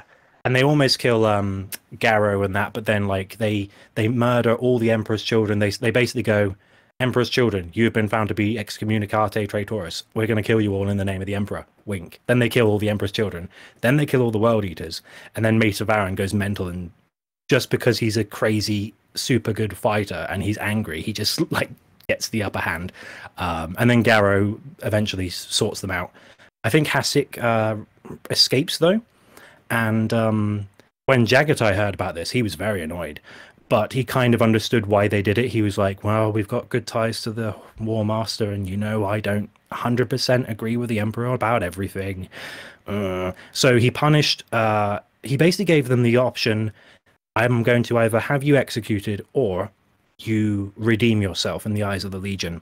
And I, I, I think I can't remember if Hasik was he made it back to the car. Definitely, uh, in Astartes did. He made it back to the car and he said, "No, I, I, I, I'll, I'll take responsibility. I did what I did. I still believe what I do. You'll just have to kill me." And he didn't like to do it, but then Jaghatai killed a few of them because they were like, "No, I think the, I think I, I agree with the warm uh, with the warm Master." Sorry, and This is all Yeah. before actually, ironically, wasn't it? During yeah, when they're all um, part of the when they're making their minds up. Yeah, They actually, this is the part where the white scars. They actually don't know. We we said earlier, like the the warrior lodges, like that's how chaos like seeped in. But originally, the Yeah. warrior lodges are essentially. The funny is, they're all just men in cloaks. like, um, does anyone know the film Hot Fuzz, where like they all Yeah, so- around, they all like the greater good, the greater good. hack. That's what they. that's what they essentially are. And then um, the, the whole point is like they're like places where warriors are You just be everyone everyone's equal in this area sort of thing no no ranking fraternity. Def- de- pr- basically yeah and they all kind of just believe that horus like obviously there's a lot to comment about the emperor being a tyrant so Hmm. and And they're they like, have- he's earned it. Yeah, he should have a go. Yeah. Why not? so that's it's so they actually don't know like chaos is involved at this point they kind of just think it's like Yeah. a, it's just a general coup like you know standard Yeah. coup not chaos uh souped up tentacle you know They infested coup Demons weren't Hmm. involved as far as they knew. Nah, so that they're very much their betrayal, like even above Prospero, when like another group tried to like they try to force Jaghatai, don't they, to like join Yeah. Horus, and then he just he they're all like, this is for the best, you know. Horus is a you know the Emperor's ditched us. The em- you know Horus is a better leader because he's actually you know he's a fighting man, and then Jaghatai just goes, you you make you make decisions for me. Just- yeah, it's like you did what? You didn't wait for me to tell you what to do. Who are you again?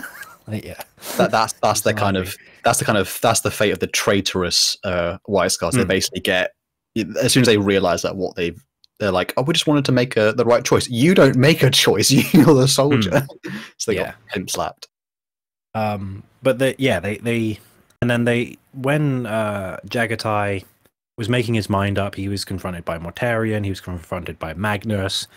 Uh, we'll talk more about that on his video, I'm sure. But long story short, he goes, "No, we're going to be loyalists. We're going to go to Terra, and we're going to help out." They they for a while they harassed the traitors and chipped away at them, and at first they were really good at it. They were just cleaning house. But over time, the Emperor's Children and Death Guard they started to see the patterns they got really good at countering the white scars and then eventually they just started harry, uh, harassing them back so at this point they go okay we're we're at diminishing returns the war's coming to a close we got to get back to terra. They get stalled by the alpha legion they get stalled by the death guard they and you know it takes them a while and there's a lot of stuff going on with that um which we'll get into another time but they get back to terra and they're amongst some of the only Astartes on Terra because there's not many uh, legions that actually are there at the last crucial battle Everyone knows the Imperial Fists are there, the Blood Angels are there, the Space Wolves originally are there, but before the battle they they they bugger off for the most part. You know, they try to head Horus off before he gets to Terra, and the Knights Errant are there, and that's pretty much it. And then it's just the Imperial Army and Titans and stuff like that. So um, they they they help defend the the the the home world, the throne world, should I say? And they fight with distinction.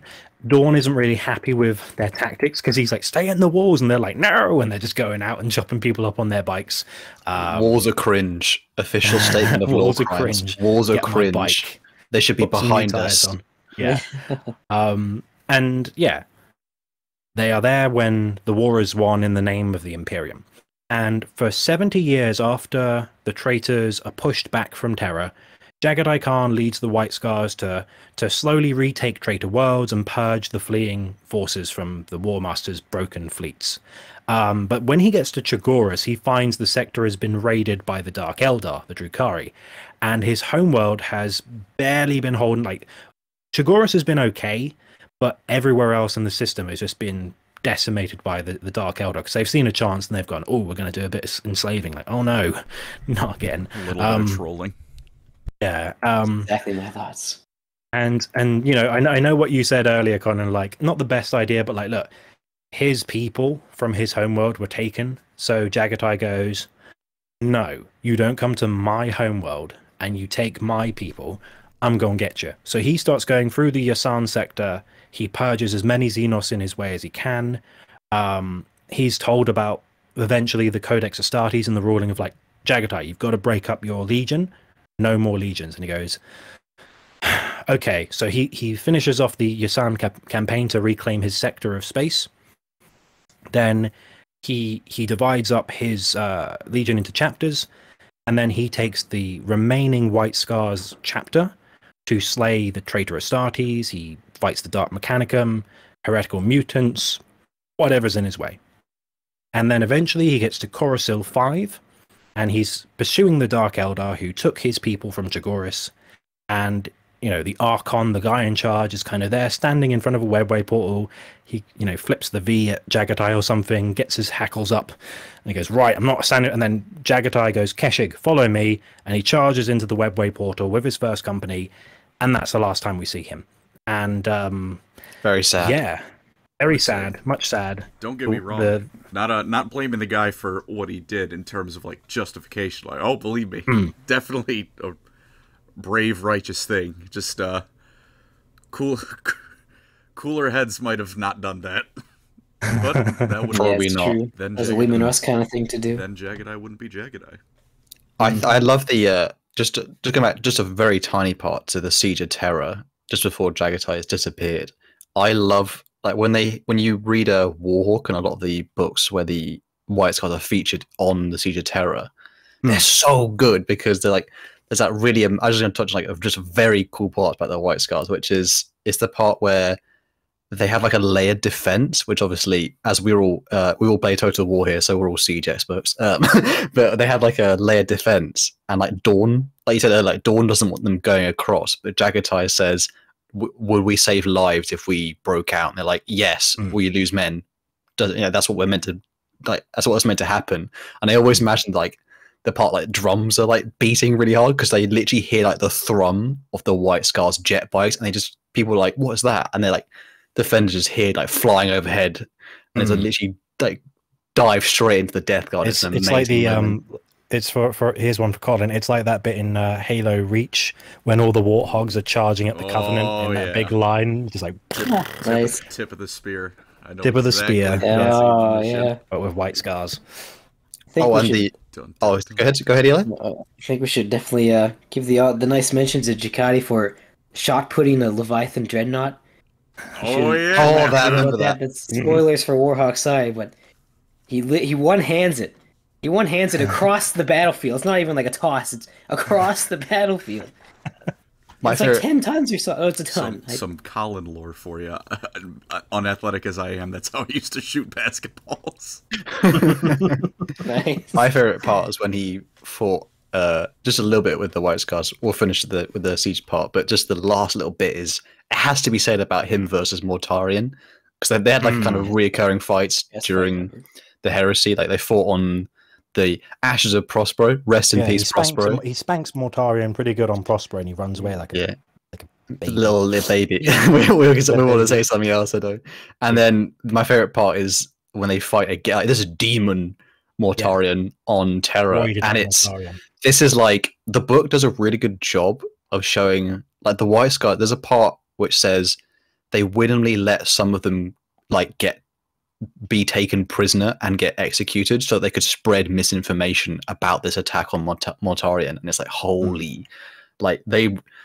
You know, they are exhausted, and they had this one last little attack on Mortarion. You know, the big smelly moth man, and uh, Jaghatai. I won't spoil that for anyone, but you know, I'm pretty sure at one point he just goes like, you know, Mortarion just like, you know, trying to justify himself, and then Jaghatai is like, you know, it's all ochre now, and just just absolutely decks him, and you know they. Do, so, I'm sure that image um, everyone wants to wipe immediately from their Hmm. uh, minds and not I bring mean, to be Shrek into this.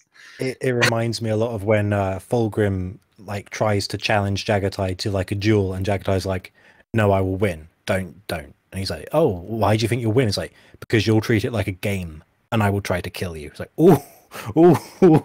What's the- what's- what's the the, uh, master of one-liners, dude. He's so Hmm. good. Oh, there's the line after that, isn't it? Yeah, there? yeah. It's just like It's I like- hear you do strange things to your Oh. your um your vessels, and it's like I hear you do strange things to your Astarte. He's like, "Ooh, ooh."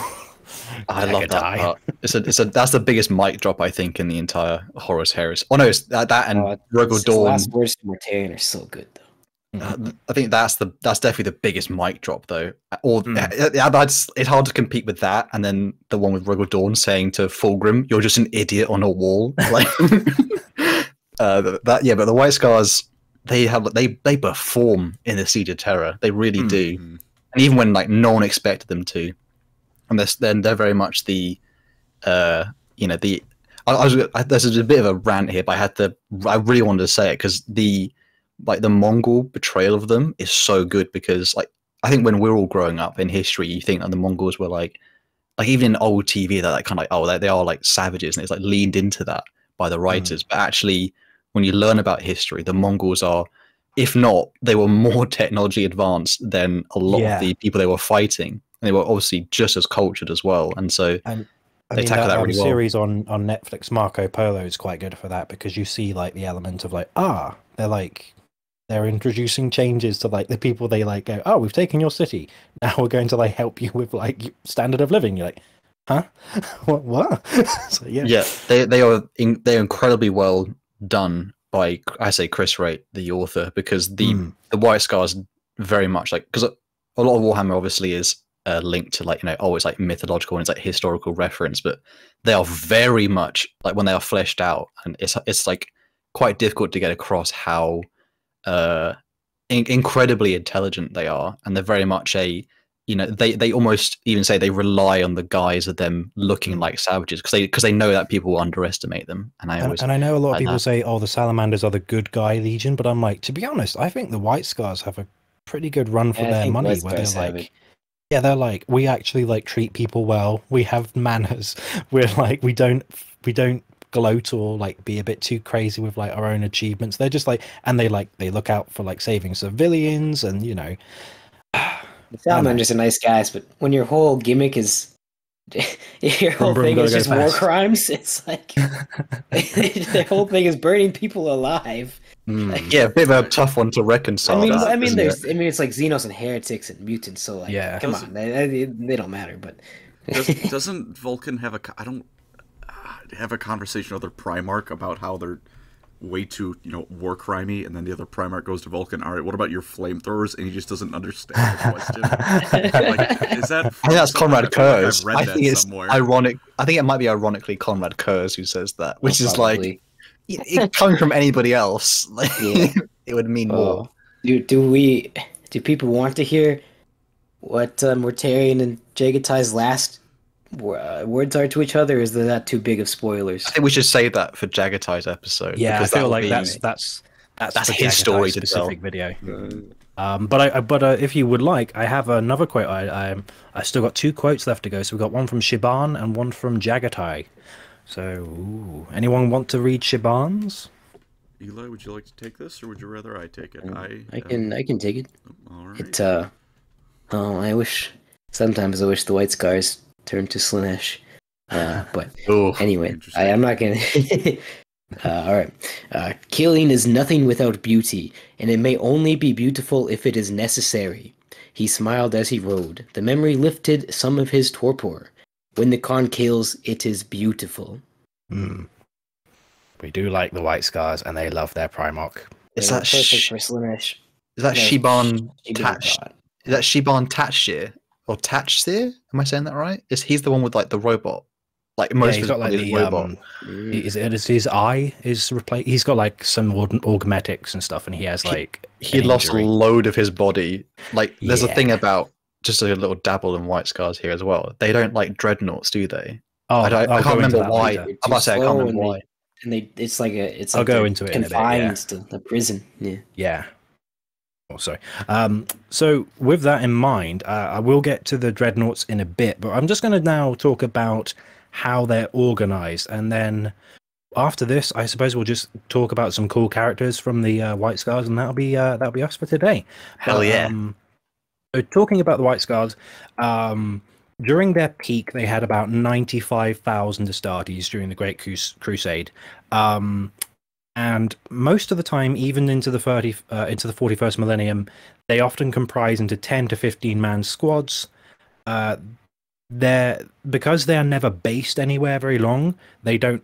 There's like a good bit where um, I mentioned earlier. The the general lady from the uh, the army is chatting to Jaghatai, and he's like, she's talking about like supply lines, and people are complaining like it's really difficult to get supplies to you because you don't have like a centralized base. And Jaghatai's like, that's our strength. We don't have like a big target you can attack because if you chip away at us, we're all over the place. So you can't really like interrupt our command structure.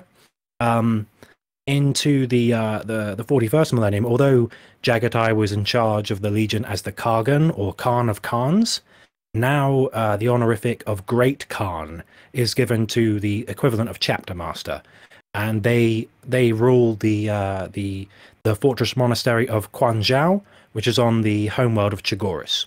Uh, like I said earlier, the captains of the chapter and previously the legion are known as Khans. Prior to the Codex Astartes, they used to have 20, 20 different companies known known as hordes. So imagine, like I think it's probably yeah, a thousand Astartes per company times twenty, and these were known as Ordus. And the Ordus were commanded by uh, quote Noyan Khans, which each led these hordes during the Great Crusade and Horus Heresy, and they're like the equivalent of a Lord Commander. Um, Hasik Khan, who I mentioned earlier, he was one of these uh, Noyan Khans, and they had names such as the Ordu of Stone and the Ordu of Earth. Um, companies in the chapter are known as brotherhoods, and each company is led by a Khan. So a captain leads 100 Astartes or so, and that's a company. Um, in the current 41st millennium, there are 10 companies. They are the Spearpoint Brothers, the Firefist Brothers, the Eagle Brothers, the Tulwar Brothers, the Stormwrath Brotherhood, the Hawk's Eye Brotherhood, the Painstalker Brotherhood, the Bloodriver Bro- Brotherhood, the Stormbolt Brotherhood, and the Windspeaker Brotherhood. So they love to put Brotherhood at the end of every one of them. There's a lot of brother in Warhammer in general, though. Just mm. everything is. To be fair, Super is- Jaghatai Brothers. Da, da, da, da, da, do you, you guys, do you guys have this as well? Like it's almost like brothers, like our gender neutral, like acknowledgement term for someone who mm. works within Warhammer. It's like Yeah, yes, brother. brother. So Yes, being like brother. colleague, friend. It's just everyone is brother. Oh hi, lady. I do like in um I like- Def uh Deathwing, I think it's Def uh, Space Hulk Deathwing. It's just like when you're in the lobby, it says brothers waiting. It's Yeah, like not yeah, players, brothers. I like I like to imagine that you know space marines are fighting alongside sisters of battle, and just going brother, and it's very clearly a sorority. yeah. Sister, I am pinned here. Um so At least it's not on are- Chan. That'd be worse. dear. Um, and and the and, and and more than probably any other chapter, we know that chapters have sometimes uh, variations on the the um, the different specialist roles. Like for example, you get Iron Fathers in the Iron Hands, you get Rune Priests in the Space Wolves. pretty much every one of those specialist ranks in the uh, in the White Scars have has a unique name. So psykers are known as Zadyin Arga, and librarians or Astartes, who are also psykers, are known as Stormseers, and their use of the warp they call the Test of Heaven. Um, you mentioned earlier how that the um, that the White Scars were pro librarian. And uh, the interesting thing about the Stormseers is they always knew about the terrors of the warp from their inception. They always knew kind of like, mm, there's something a bit malevolent going on here. And so they were always a bit more restrained in their power. Um, one of the reasons they were, you know, they always saw it as useful. But unlike the Thousand Sons, who were like, give me all this, put it in my mouth, yum, warp, yum, yum, they were like, no, no, no, calm down. That's a bit too much warp. You've got a problem. Um, so Jaghatai uh, refused to hide the, the the the the machinations of the warp to his legion, unlike a lot of the other, you know, pro psyker guys like Magnus. He was like, "No, I'm not gonna, I'm not gonna lie to them. I'm gonna say be a bit careful with this." And in that regard, he would argue with the Emperor quite a lot because the Emperor's like, "No, you shouldn't, you shouldn't tell them about this." He's like, "No, I'm telling them. They're adults.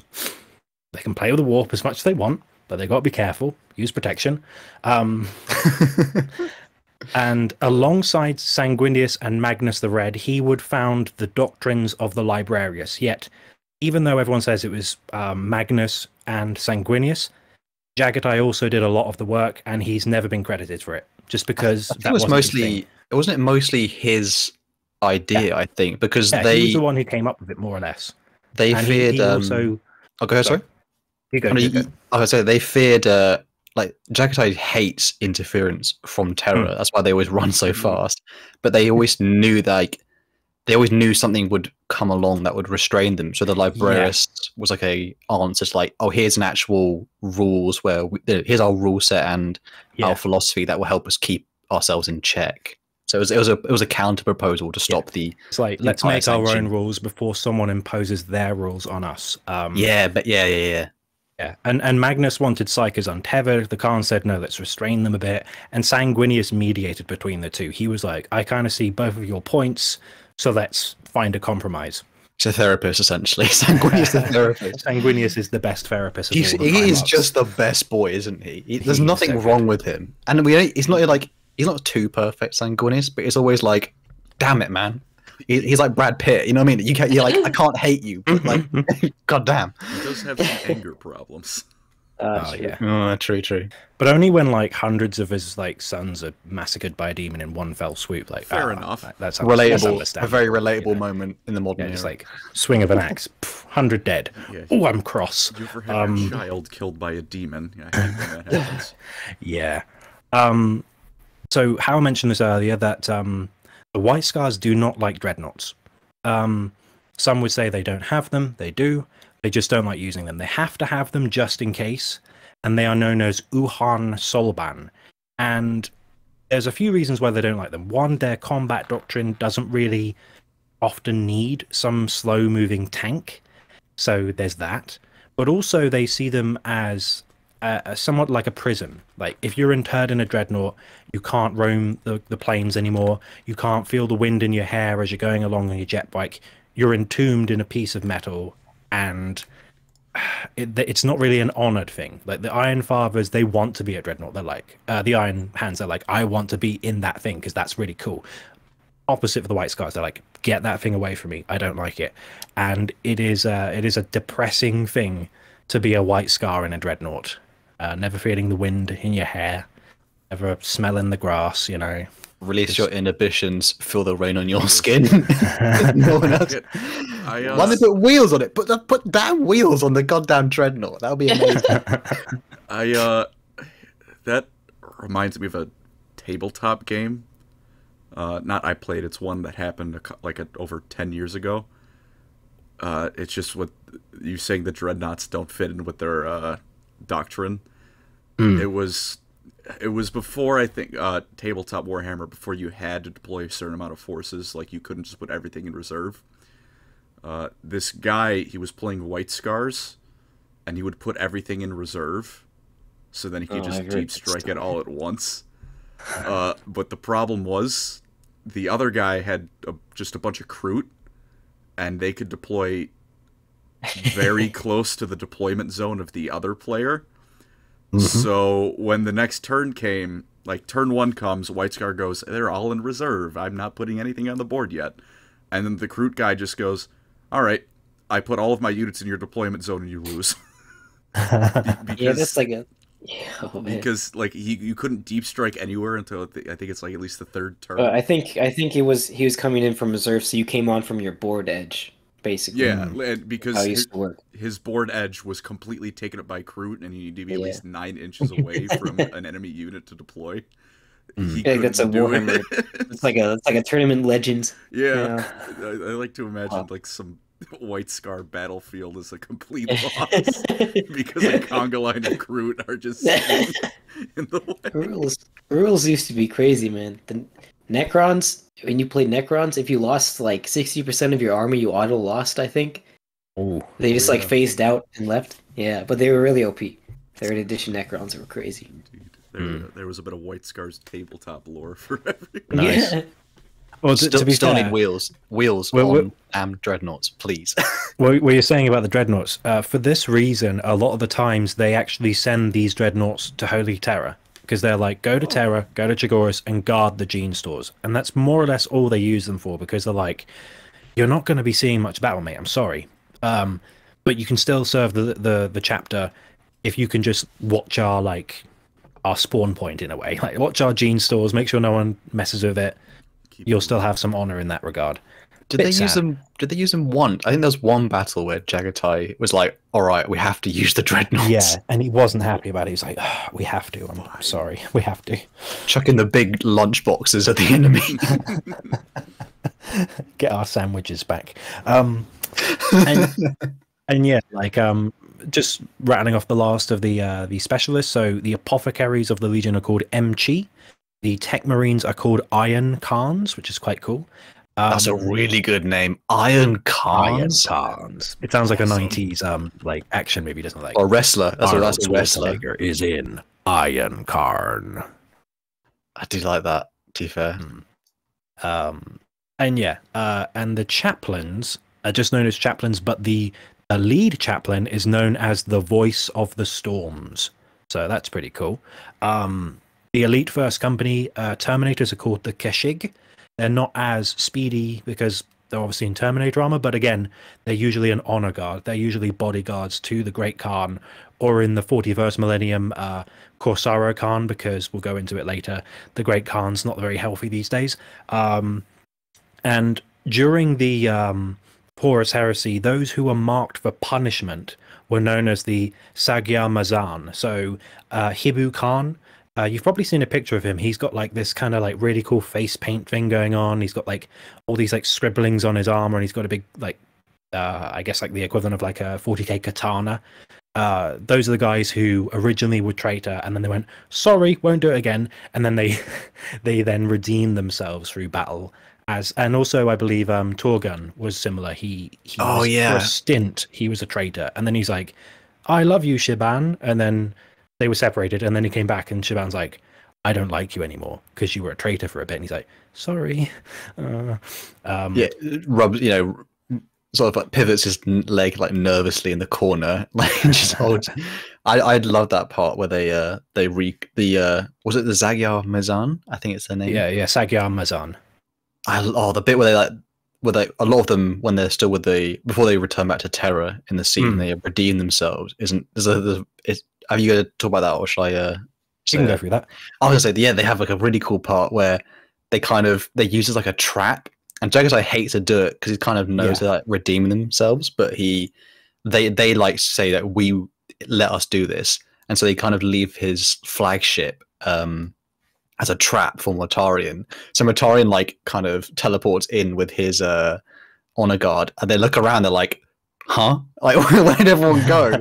There's no way the Jaghatai left his like flagship and they went on the other ship. And they did, and then the uh, the Magyar Mazan they jump over the right. Like they, all of them, they're all traitors. Like, Yeah. uh, you know, they've all, they've all been shunned. They've all, but then they all just like all of them. They just redeem themselves. And most of them are Terran, the Terranborn as well. Mm. So this is where they kind of like bring back their honor. That then they defy Horus, the, the you know the corrupted traitor, and they just attack Mortarion, and they have no chance of winning, but they just do it. I think Mortarion asks, "Why would you do it?" And I think one of them just like Torghun. I think he's the last one alive. He just smiles and just laugh. And like, you know, like redemption. Why not? redemption, brother. Why not? I've just- got nothing going on this weekend. Yeah, and then they just sadly they all they all die. But it's uh, Yeah. I, I love that moment because it's like a you know they they they really like just they they couldn't catch him in the end. You know, too fast. Yeah. Um, but that's more or less all I wanted to talk about in that section. So before we go on to the last bit where we talk about specific characters for uh, rounding off the episode, I've got one more quote to go, and I believe Colin, you're the only one left not to, not not to have read one. So would you like to read this one from our boy Jaghatai? I would be happy to.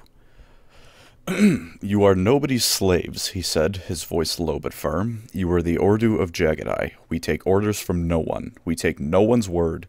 We are on our own, just as we always have been. And if there is truth to be found in this, then we will find it ourselves. We gotta love Jaghatai and the White Scars. I like how there's like so many elements and layers to them. Like we were just talking about the Sagyar Mazan, like there's just so many like cool little oh they did this. Oh they were traitor for a bit. Oh they had like a kind of redeeming company. Oh that's quite cool. Oh they don't like dreadnoughts. Oh that's quite cool. They've got little those oh that's cool moments, you know? Um Right, so we're we've now come to the last segment where we're gonna just briefly touch on some of the characters and, and and again hal you wanted to talk about some here and there so if i've missed any that you want to talk about go for it. Um so starting off um the the great khan in the 41st millennium is jubal khan not to be confused with the other jubal khan. Uh he is uh, currently too injured to effectively lead the chapter he was uh, taken by i believe it was the red corsairs for a bit and tortured Yep, yep. and he was so badly injured he can't fight like he used to. And he's quite old. So um he is in charge but only in an advisory position at the moment. Um other 41st millennium guys we've got kor'sarro khan the master of the hunt and captain of the third company. Uh he leads the eagle brotherhood and he is effectively their their appointed war leader because Jubal is too injured. He is the one in practicality leading the White Scars into battle because he's got you know this guy goes out into the galaxy. They have this scroll of vengeance, right? Every time the White Scars fight an enemy that gets away, they get out a pen or a quill probably, and they go, "What was his name?" Uh, Trevor the Despoiler. Right? Okay, Trevor. And they'll Trevor, the in- spoiler. yeah, Tre- Trevor the Smasher. It's like Trevor, he's going on the scroll, and they'll write his name down, and then the Master of the Hunt is then tasked where he goes, "Hey," uh, he goes through all the companies, and he goes, "You, you, you, you, you, you, you, you're coming with me.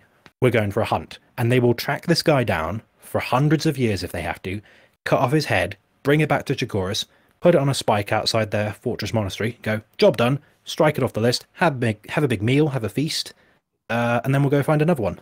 I They think also- that's really cool. They cover the skull as well in silver. Yeah, they like remember. balm it with like this oily stuff. I think it is.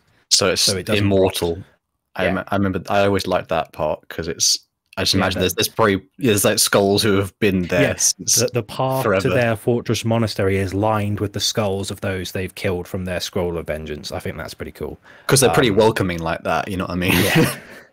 I don't know. They're quite cool. Um, and the thing is, yeah, uh, Kor'sarro is really good at it. He's killed like seven of the Scroll of Vengeance. Uh, like I mentioned earlier, he killed that Alpha Legion guy.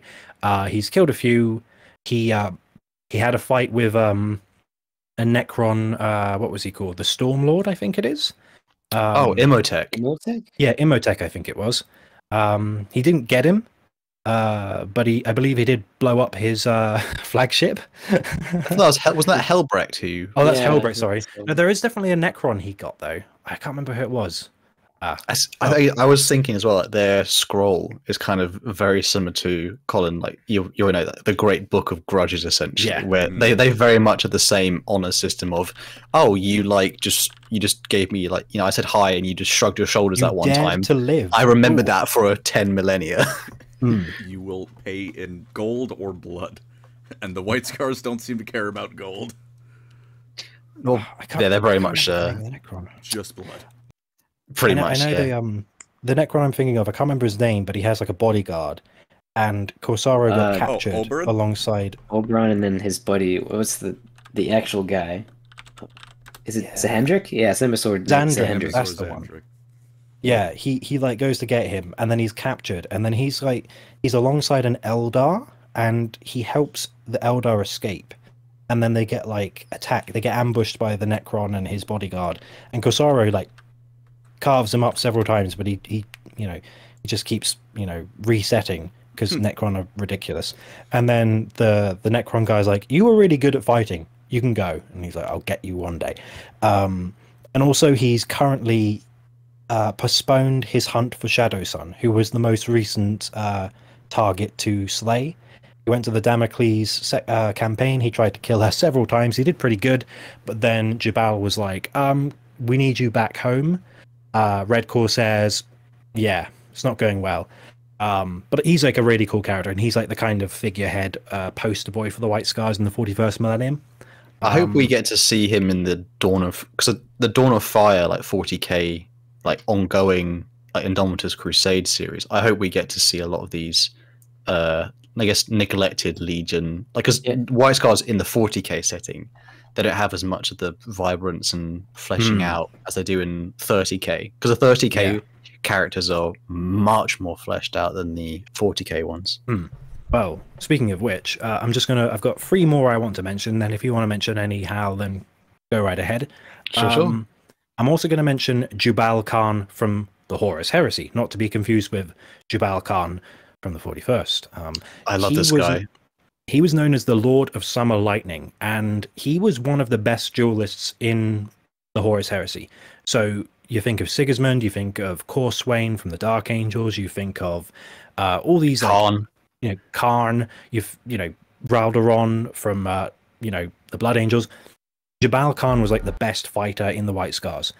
He was so good. Um, he would have during the Horus Heresy, he would attempt to kill Abaddon, and unfortunately, even though he's a really cool character, um, Abaddon got him. He, you know, he Yeah, it's so annoying, man. I and can't it's really you brought this up. anticlimactic because they they build him up so much, and then it's just like dead. Oh, It's so upsetting because again, like, no offense, people dying to Abaddon is like, is Abaddon really that good, or they just like need him to, like, he's just Uh-huh. a- a- add him to the tally because he needs to look better. Uh, he's also, I think he's probably my one of my favorite of the Horus Heresy White Scars because he's also a Terran. He's not actually. Yeah. Uh, there's, there's a cool part in Jaghatai's Primarch book, I think, where they've like they briefly return back to Chogoris. It's been like a couple of decades, and they're having like a ceremony. Like, they're all like you know drinking fermented milk because you know how it be. And I think I think, Yeah. I think one of the one of the. One of the Terrans Yeah, even rubbish. Milk, real shit. one of the Terrans even said like it actually tastes pretty bad, but, quite but they, they like it. And uh, him, Jubal's like fighting another uh, Chogorian Astarte, and they're just in the like they're in a loincloth and they have a dagger, and it's like and they are literally they fight and they duel and they are they're Astartes, but they are sweating like they have been.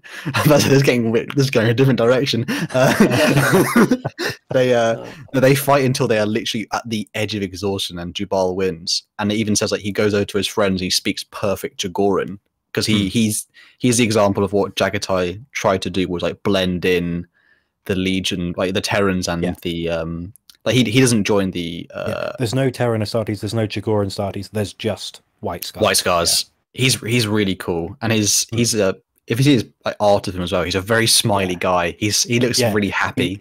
He, he's also known as uh, He Who Laughs in Slaughter, I think it is. Uh, oh, that's a little bit happy. That's a little bit a different vibe than I was he, thinking. he- he was known as the one who, like, I think he was the one who, like, was most known for laughing his ass off when he was fighting because he was just having so much fun. Um, and he was also the first master of the hunt. So uh, Jaghatai created the title for him, and then every generation of White Scars has a new master of the hunt. Um, speaking of Terran-born uh, Astartes, another one I want to mention briefly is Solomon Khan.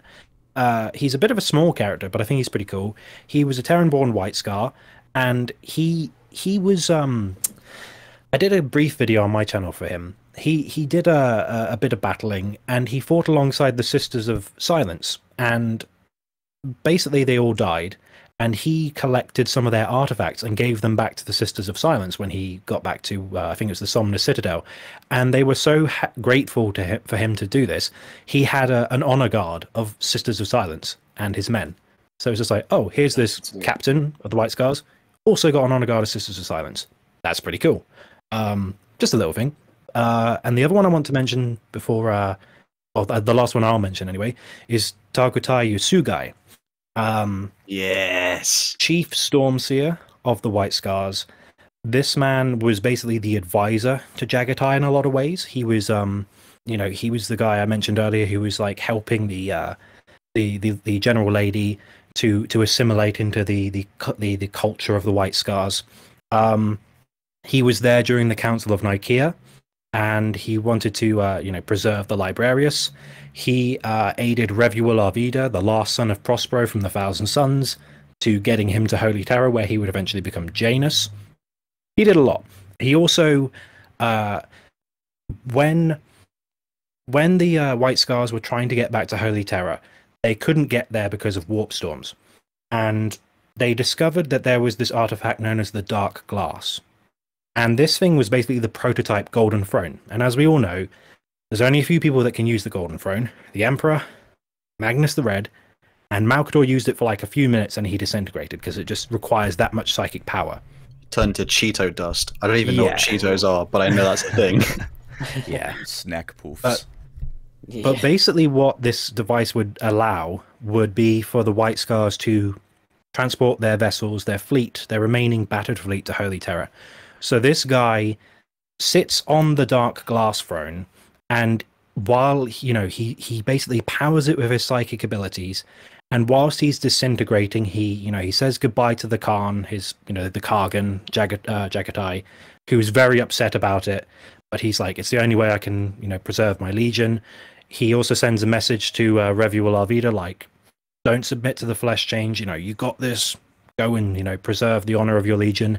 And he disintegrates, preserving you know his his chapter. He's a really cool character that's only in a few books, but he he leaves a, a big impact uh, for the the White Scars and just one of the, the, the coolest characters I think in the series, to be honest. he was Um, also Jaghatai's best friend as well. which Yeah, is- it's much, really, yeah. it's really, it's really a sad moment when he like, hmm, I guess, emulates. But he's really, it's really upsetting because Jaghatai, like the first time, he's he's like super cool and he's always in control. But it's the first time Yeah. where he, like Jaghatai, almost, I guess, I won't has say like a cry, kind of almost yeah, breakdown. has a little like, whimper. better not do this, and he's like, "No, I have to do it because otherwise we're we're we're, we're done." So I'm going to give my life for this. And he's like, "You better not," and he does, and then he gets really upset. Um, but yeah, is there anyone else you wanted to mention, Hal? Oh, oh yes. Uh, Oh, I have, yes. I have two. Uh, I have. There's. We said earlier. We had a quote from Shiban Khan, and Mhm. He's also nicknamed. He is called. I think I said a little bit about him earlier. He's called Tachseer because Hmm. Shiban was originally friends with Torghun, who was one of the Terran Borns who betrayed part of the Warrior Lodges. He betrayed uh, his friendship there. And Shiban actually led like a company to assault their brothers to stop like the uh when they were above Prospero, they tried to stop them forcing Jaghatai's hand uh into joining Horus. And Shiban is like he's not like super high up, but he just like he gathered his men and was like, "Are we, are we willing to do this?" And they all like, "Yeah, you know, victory or death." And they literally like jet bike in space over to their flagship Yeah, yeah. and it's really cool. And like loads of them, it's like it's literally white scars killing each other. It's really sad. And then um, that battle actually costs him like he almost gets put in a dreadnought. That's and obviously Hmm. dreadnoughts we said earlier for white scars. It's fate worse than death. And Mm. he's called Tachseer because like he has an unreasonable amount of augmetics on his body, and he can't Especially even for a fight. White Scar.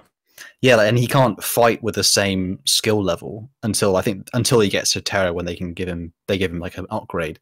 But he's very much like he, he was like a very happy White Scar. Like he dabbled in the arts before, like like Jaghatai uh encouraged him to do. But when they like as soon as he gets injured, he's like one of the uh, effects of the the heresy on the White Scar. He doesn't draw anymore, and he's just very like a very bitter person. But he uh and he fights at the siege of Terra and he, he's basically the last kind of so many of the white scars die that he's like one of the last leaders and obviously he's ironically to- He's like kind of a legend now because he's the one who helped save the Khan from Hmm. the traitors. And yeah, I, th- I think in the Warhawk book, there's like it's from his perspective a lot of the uh, moments in that. I will, I would go into spoilers there. And the last one I think of is I can't remember his name exactly, but I think it might be Jochi or it might be something closer to that. It's the other. It's the other White Scar character we have in the Horus Heresy uh, Warhawk book. But he's Um, he's one of the, he's one of the newest recruits. yeah, is it Jo- Jangsai? Jos- It might be Jangsai, yeah. But he's Jangsai. he's like a younger guy. He's oh, he's really young. He's actually Yeah. he's this is he's recruited at the beginning of the heresy, Hmm. and like he he is fast like him and loads of others were fast tracked, and he's not even from Chogoris. They're actually from they, they were in such need of soldiers that he's actually not. He's from the Yasan sector. I think they even comment how. Yeah. ma- Uh, not sure why Jaghatai has such a preference for having specifically Asian people in his, or only Yasa- Yasanian sector people in his uh, legion. So someone's like, I'm not sure why they did. Obviously, because of the, the look of them. thing is as well with his art his art depictions he's he's a bit more like japanese inspired. He looks with, like- Japanese, yeah. yeah and he, like the way his hair's done and the the armor rather than mongolian but i think that's pretty cool that it's like yeah he's a he's still a cool looking character he's he's a he's a cool one because like you follow some of his perspective in the seed, and he's the one who like um tells uh Shiban like basically they try and take the Lionsgate spaceport, uh, like they just as like a and obviously get rid of the Death Guard as like a kind of last stand because once they basically take it and they hold up in there, they can't return back to the actual uh main like palace area. They're basically locked there, and they're obviously trying to hold the spaceport so when the loyalists arrive, they can land and they hold that and he's the one who like helps stop the white scars from going on a rampage and like leaving it and they basically say we'll hold this as like sacred ground and it's like a he's like a really cool meeting of, like you know the newer generation of white scars and then Mm. the older with like uh shiban and he I, th- I don't know if he survives this siege i hope he does because we're not there yet but he's uh he's a, he's an interesting perspective like of an outsider but yet still like alien to what would be a, a terran like culture, if you know what I mean. He's very he's definitely not like what Imperium is or Yeah, Imperials he's an used to. outsider in that he's not from either of the two main factions of the White Scars, like Terra or Chogoris. And it's like it's an outsider outsider for an outsider legion. Huh. Yeah, Okay. but he's uh These are he's the I, white I think they're to the cool. White scars. no, he's yeah, he's like the last one I think is pretty cool. O- overall, the Legion itself is pretty. uh Again, like now now you like once you know more about, it, you're like, oh, these are actually like the. I guess I won't say the, the dark horse, but that's honestly because they like they have a lot of imagery of like speed and horses. But they're actually they don't like, have as many characters as a lot of the other factions as well that are like named. So I think the good thing is when they are ma- uh, when they do have some depth, they are they hit pretty hard, which is quite cool. and the, the characters are pretty as in, they're fleshed out to the degree like they show all aspects of Jaghatai too. I think uh, Mm. like like Torghun, Shiban, uh, Targutai, Yesugei, like they're all very much very different people, and uh, they they it's it's really I find it really sad because obviously they lose they lose a lot of people during the siege, uh, a lot of the named characters, which is actually different from a lot of legions. Like a lot of the named characters. Like even on Isfahan, like oh, a lot of them survive, but a lot of the n- name characters of the White Scars just and they, they they go and it's really upsetting. But I, I like the White Scars though. They're pretty. They're well, they're definitely like top three uh, for me. I I never thought they would be, but they're definitely up there now. This artwork I found at Jaghatai, I sent it in the chat. It makes him look like Kratos. Like, is that is that just me? Looking at that, like now I'm gonna think of Jaghatai as Oh, that's him versus the Keeper of yeah, Secrets. Yeah, I, I just with the pattern of the Mm-hmm. Mhm. scar and how pale his skin is this photo, I don't know if I'm gonna that's be able that's to. when he's um he's looking after his adopted son, uh, Revuel Arvida. Yeah. I don't I don't know if I'm gonna be able to unsee Jaghatai as anything but Kratos now. oh, he has a he has a definitely he has a mean like he has, not a mean streak. He has like an anger. Like his he is. There's a reason. I have I, I've never talked a lot, but I have to talk about this one moment, which is so good in one of the books. It's the part where I don't remember the name of the character, but one of the White Scars dies during the Great Crusade, and they're fighting orcs, and Jaghatai they're fighting with the Sons of Horus, and basically the character like falls into like a lava pit, and he like starts sinking like he starts to sink slowly. Jaghatai stops fighting goes over to the edge and watches his friend like melt away. And he just yells for everyone to get out. The orcs stop fighting. The white scars and the sons of horus the, oh sorry, I think they're called um, Wolves. Sorry, still. they like leave, and Jaghatai just starts like just very slowly picking up the pace, and he starts to like just munch like munch the orcs down, and it said like they're watching, it, and one of the Luna Wolves like just goes yeah, tries to join in, and then like the White Star grab him, and go no no no no, and Hmm. it literally says at the end. They, they say at the end of it. or so they say during it they actually can't see him because he's moving that fast. They even the Astartes can't see him, and he's just at the end of it. He's like a, basically a red painting because he's just covered Hmm. in orc gore. And uh, I, I, I, that has to be said. That's as like a last kind of how epic the White Scars are because that moment is awesome. He's probably the best dad out of all the Primarchs. He, and adoptive dad. He, He he, adopts sad. Revuel Arvida, and he Yeah. stands over his like flesh changing body, and def- uh, he fights the uh, the uh, the the picture that you just sent, Colin, of the demon. He's just like, "You're not you're not touching him. Get away." I don't think there's any other moments I can remember when a Primarch is sad that their Space Marines died. But Colin gets sad and mad all the time about it. Or even when um, Arvida is being turned into Janus and he's being imbued with a shard of Magnus by Malcador, he's like getting consumed in like psychic fire, and Jaghatai's like, "I am ending this," and he like breaks the machine. it's just like you are not killing this. You know, he's come this far, and uh, yeah, he, he's he's a very good. He's a good dad. He's a very good dad. Good dad to a good legion. Indeed. But otherwise, I guess that's the White Scars. Have you all uh, enjoyed today's episode? Indeed, Thank you for indeed. allowing me to take the beginner section. Hmm. Do you think you know like? Do you think that are they moved up in your list now, Colin? Uh, I'd again, I'd have to think about that more. Jaghatai's definitely moved up in my Primarch list. I'd probably put him at third now. Oh, oh yeah. one? Uh, number one, I'll go up. Two is uh, actually Fulgrim. I quote Nice. his story is, Good choice. at least in terms of narrative, he's a very tragic person. I Uh, better not hear Primarch. Magnus in the It's- next it's five not Ma- seconds. Magnus. Magnus has done many things wrong. I'm not falling Good. for that. My favorite is still Guilliman. I uh, I really I really like Guilliman. nice. The Blue Boys. But, The Smurfs. I, But I like otherwise- too. But otherwise, he's, he's the best one. I think Jaghatai is my favorite. That's very. Thank you very much, Andy. Uh, that's a yeah, that, that's a lot to cover because obviously they're quite. Mm. There's, there's a lot more Yeah. lore in them recently, so we definitely appreciate that. And uh, for our next episode, I think Eli, what was your choice for our next episode of the podcast? Oh well, the we're gonna learn about the the true emperor, and it's not Horus or Abaddon or the emperor. Well, it is the emperor, but he has four arms or six, depending on which cult you're into. Uh, we're gonna talk about the Genestealer cults next. time. Yes, that's gonna get dark and squirmy. Definitely.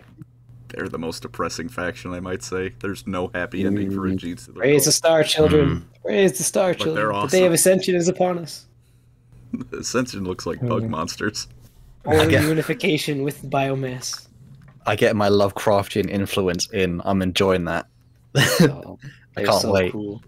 I got the Codex, and now that they're like the, my favorite faction ever.